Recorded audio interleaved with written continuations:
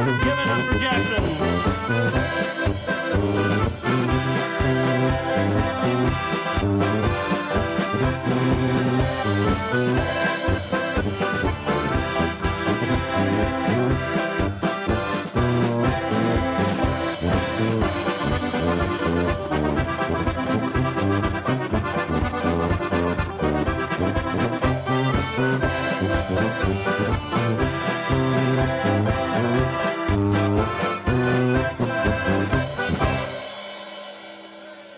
Thank you. That was the Prague Polka featuring Jackson Bretman on the trumpet.